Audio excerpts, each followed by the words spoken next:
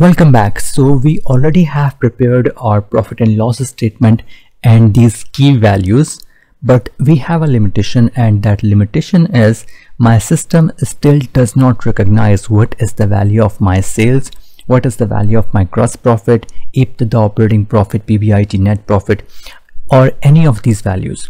Well, you must be thinking, we already have calculated these values, how my system still don't know about that. Well, the point is we have calculated these values using the page level filters.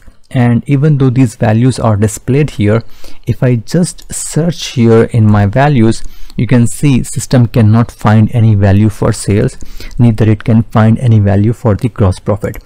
So since we do not have those values that system can recognize I cannot use them in any calculation. So for example, if I have to calculate gross profit margin, I will need to divide gross profit with sales.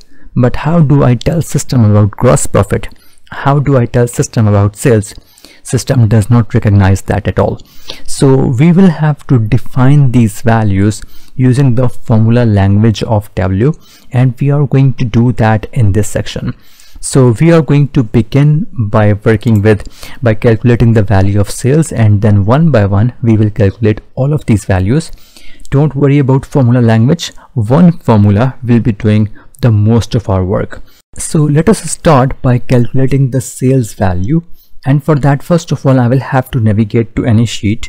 And once you are in the sheet you will click on this analysis tab and click on create calculated field now the first value that I'm going to define I will name it here on the top. So I'm going to define sales. And we will start this uh, this formula by typing the function that we want to. So we will say sum. And once you type the sum you will and press enter. Once you know this option is highlighted or you will press the tab key on your keyboard. And now you can see that this function has opened. And now you will be entering the next argument now what we have to sum we will have to sum the amount from the GL so I will select amount and again press enter. And now you can see what we are telling the system is that please sum the amount from GL column. And before you move forward you will see that if this calculation is valid and you will click OK. Now if you will click OK system will give you the value of all the GL values summed up.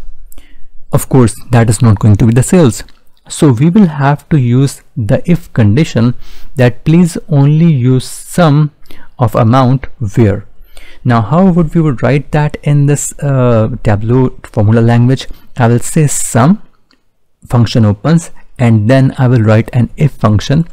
And now i will say sum if and then we will have to define that where we should be using the sum and to define that logic I will take you to the Microsoft Excel where I have my chart of accounts. And in the Excel you can see that I would say where subclass equals sales. If I use the subclass equals sales I will be getting my net value of sales. That will be including sales as well as sales return. So the logic is sum if subclass equals sale. Let us go back to Tableau. And let us continue here. Sum if subclass I will just write sub and system has given me wherever sub is mentioned in my data. So I will select subclass and I will say equals, close the open inverted commas, write the sales as it is mentioned in your data. So I will say sum f subclass equals sales. Then, then what should be summed up? Now we will be talking about that particular column that contains the values which should be summed up and you know that column is named as amount so I will just write amount and system has given me the amount. Now since you know we have defined that where subclass equals sales then and uh, then you know uh, sum all the amount. Of course this sum has been applied outside the function so it will automatically be applied on the amount column here but we will have to tell the system that if subclass is not equal to sale then what the system should be doing? So i will have to complete my formula. And it says sum if subclass equals sales then amount. I will write else 0 which means that you know otherwise it simply answer me nothing. And finally be before closing this function i will have to write end end that is the standard style of ending the tableau statement so let us close the bracket and let us wait for this uh, uh, notification that if this formula is valid or not. We will of course check this every time. So let us conclude what we have done. What I have suggested W is sum of amount if subclass is equal to sales if the condition is not met then answer me 0 and end the statement. And let us press ok and now you can see that the sales has been defined in my system. And whenever I like I can call this for my uh, any of the function any of the formula that I want to calculate. So at the beginning of this lecture I was telling you that system does not know what is the value of my sales but now system knows that and whenever I want to recall that I can do it. So finally before closing down I will just extract this value of sales uh, to this rows column and I will see that what is the value that is appearing here. So this is 17 million. Let me show you that in yearly so that we can compare quickly with the values in our profit and loss statement.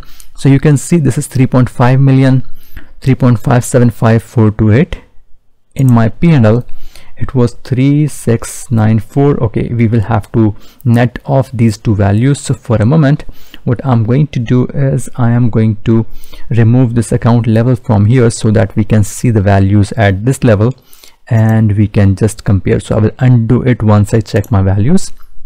So now you can see I have 3.75428 that is the value appearing here. Then we have 5697845 5697845 and then we have 7835369 7835369 so you can see that I have quickly validated my values as well for my sales and the calculation is right. Now before I move forward I will just undo the thing that we have done here so that I can get back my account level as well. Let us undo and we have our P&L back.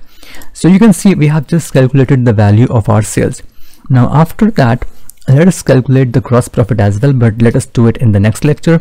And uh, if any of this calculation part is not clear don't worry. We are going to repeat this step multiple times now in a row. We will calculate the gross profit and then net profit and all of other values as well using the same formula. So this will be repeated multiple times.